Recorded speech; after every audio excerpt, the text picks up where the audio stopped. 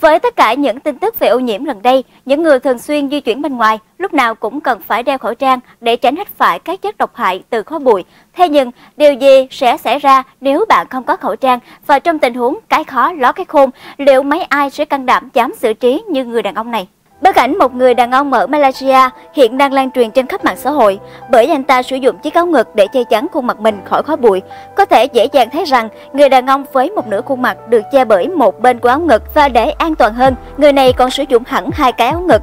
Bức ảnh được lan truyền cùng với dòng chú thích nhớ giữ an toàn cho bản thân trong những ngày ô nhiễm như thế này nhé các chàng trai, đặc biệt nhớ phải mang đồ bảo vệ trước khi ra đường.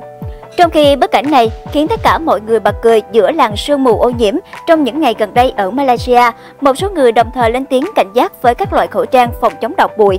Một cư dân mạng đã đăng một bài trạng thái phân biệt rõ các loại mặt nạ, khẩu trang nào thực sự có tác dụng trong việc phòng chống khói bụi độc hại. Rất nhiều người ở Malaysia tin rằng bất kỳ mặt nạ nào cũng tốt miễn là bảo vệ được khuôn mặt của mình. Tuy nhiên, quan niệm này là sai lầm. Mặt nạ có hiệu quả nhất chống lại khói bụi có tên là N95. Loại mặt nạ này sẽ bọc hết toàn bộ phần mũi và miệng, chỉ cho phép không khí đi qua bộ lọc. Mặc dù sẽ cảm thấy có chút khó thở, nhưng đó là dấu hiệu cho thấy nó đang hoạt động tốt. Làm dâu không phải là việc dễ dàng gì, nhiều người dù đã cố gắng hết sức cũng không được lòng mẹ chồng như câu chuyện của cô con dâu mới đây. Ở nhà làm bao nhiêu việc lại chi tiêu đủ thứ tiền trên đời, nhưng cô con dâu vẫn bị mẹ chồng nói không biết tiết kiệm.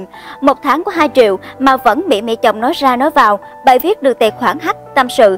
Theo như tâm sự của nhân vật trong câu chuyện, thì một tháng chi tiêu có 2 triệu nhưng phải chi trả đủ các loại tiền điện nước, ga, sinh hoạt phí trong gia đình. Vậy mà con dâu vẫn bị mẹ chồng nói tiêu hoang phí. Hồi chị em lập tức vào bên vực. Cơm như thế này mà còn bảo là không tiết kiệm thì chịu mẹ rồi đấy. Lòng non 25 ngàn mà làm được mấy món thế này, quá ngưỡng mộ tài chi tiêu của chị luôn. Chị cố lên nhé. Đa số động viên cô vợ trẻ trong bài viết với hy vọng phải tự tin, bản lĩnh, mặc kệ những lời nói khác vì chị đã chi tiêu quá tốt rồi. Bài viết hiện vẫn đang nhận được nhiều sự quan tâm của cư dân mạng.